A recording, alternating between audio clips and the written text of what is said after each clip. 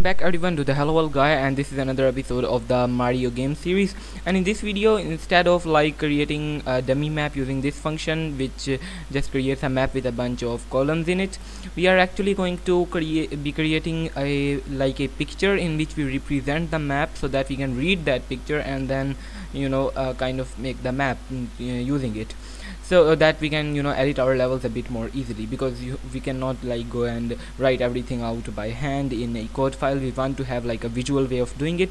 And the most easiest way is to just use a picture for that. So I have already created that picture in Photoshop. This is like 24 by 16 pixels and in here these black tiles uh, represent the places where we are actually going to have our tiles in the game. This red is supposed to represent where Mario will spawn and the white is basically like uh, empty place where there is nothing.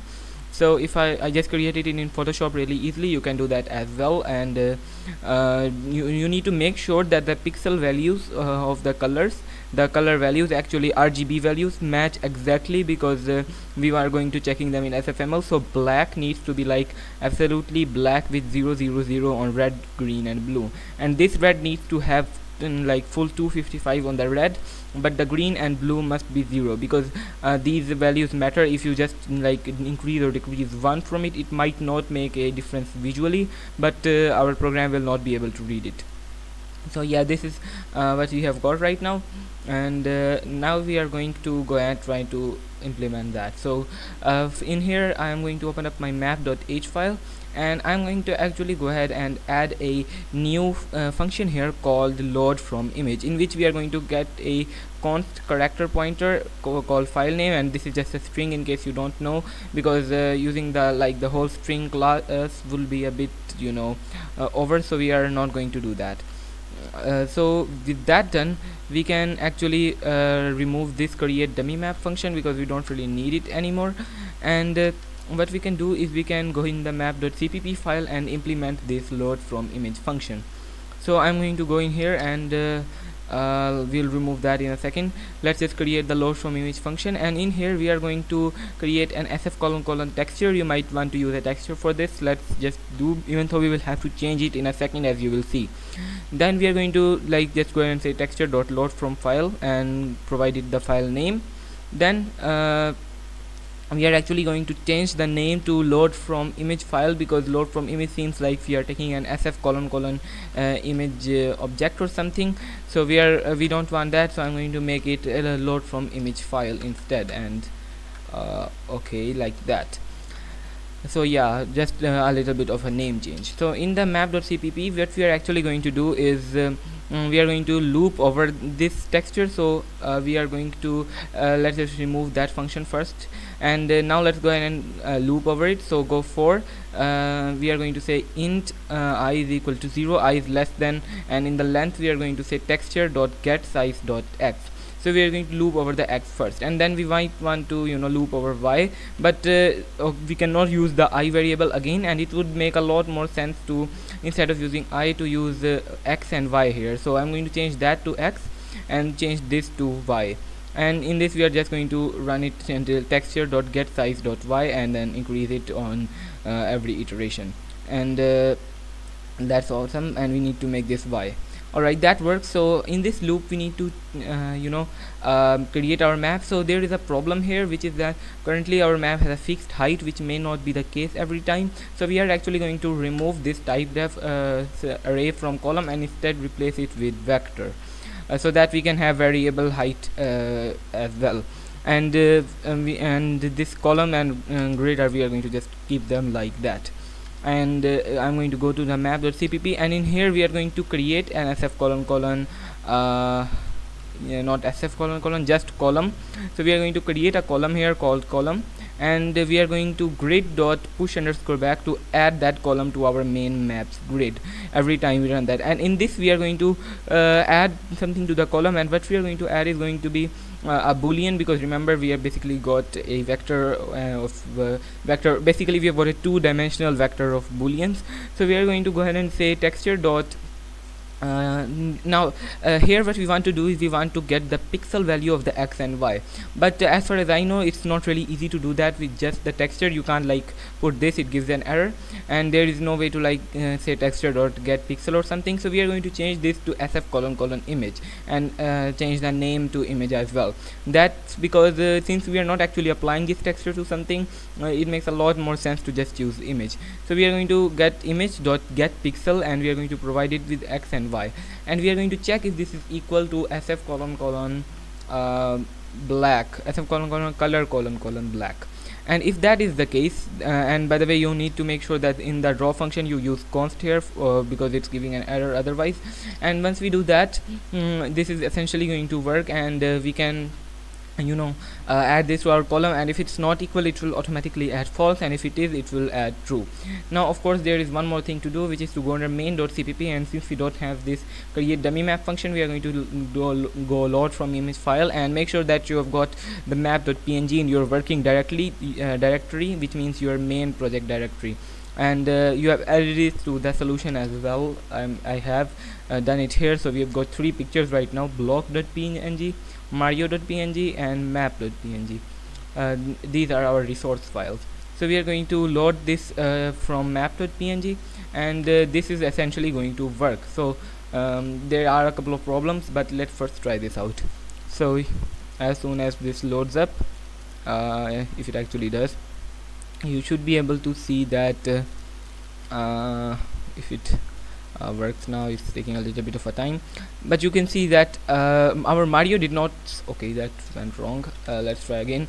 Our Mario uh, did not spawn at the correct position and that's because uh, well it's simply because we did not load that yet but uh, the map has been loaded correctly. Now of course the map is actually smaller than you know the screen right now and uh, yeah this is what it looks like. Now of course we want to have the ability to like make the map smaller than the screen. You can make the map larger if you want to by the way but uh, if you want like the map to be smaller than the screen then it might make sense to like have the screen start at the bottom uh, left corner. But that's something we'll do in the next video. Uh, for this video we are going to now make it so that Mario actually spawns at the correct position as well. So in order to implement that functionality I made a couple of changes to the code. First of all uh, in Mario now the constructor takes a, a vector uh, to called position and which is by default 50 50 the default position and they have, we have got a separate method called init for initialization because uh, now this constructor might be called more than once and we want that only to uh, we want to load the texture only once. So in this init method we basically just load the texture and set the sprite. And in the uh, you know constructor we initialize everything and then uh, we set this uh, rectangle position to position dot x and position dot y so that whatever position we pass here the rectangle's position will be that. And since we have got this default value then that means that even if we do not provide it with this value it will still have a default.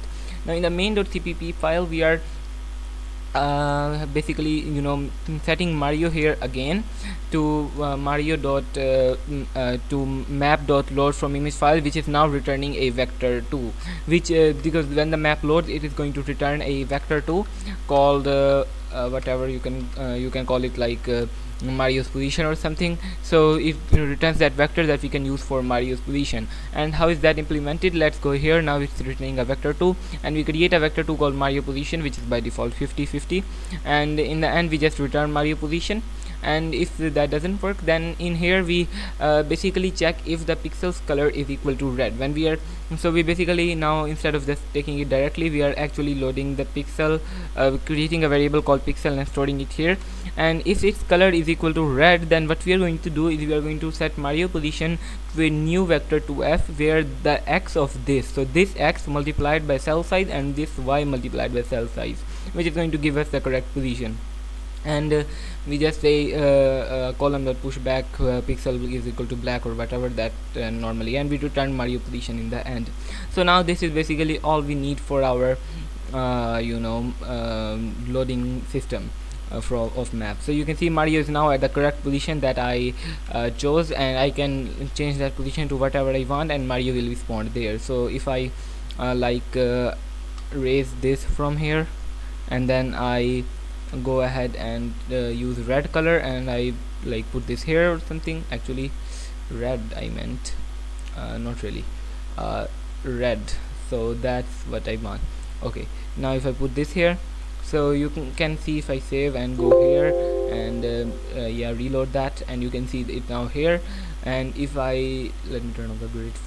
Okay so if I run this what you should see is that uh, mm, okay Mario did not spawn there actually you can see Mario spawned here instead of spawning there which is a bit of a problem. And the reason might be because if I go in here you can see that it's not perfectly uh, red right now. So you want to make sure that the blue there is no blue here. You want to make sure it's uh, like perfectly red because I told you that the pixel values matter. Mario was just spawned at the default location right now. So I'm going to save that and uh, let's make sure that we have got RGB here and uh, let me try it out again. Okay that works. So we are going to go under here Visual Studio now and reload it and then let's uh, run the game and see if it works this time. So if I run what you should see is that Mario now spawns there. Great so yeah this was pretty much it for this video. In the next video we are going to uh, uh, well we also need to implement the camera but first I think we need to fix a little bug in which uh, we set is grounded to true even if Mario like literally uh, you know hit uh, the top of his head which means that we can now like we I am pressing the up key and it's literally jumping again and again which means we can like uh, also walk on the ceiling kind of so we need to fix this problem and so that we set is grounded to true only if we hit uh, like uh, a cell below Mario and not if we mm, hit something above Mario. And also not if we hit, uh, hit something like to the diagonal or something. We want to only do it if it's bottom. Because right now if I hit this here that won't work because it's horizontal but this is vertical. And uh, that's the reason that it, it detects it as like uh, a uh, valid place to jump. So we need to fix that bug and we will do that in the next video. So stay tuned for that. I'll see you in the next one. Make sure to like and subscribe as well and share this video with other people and bye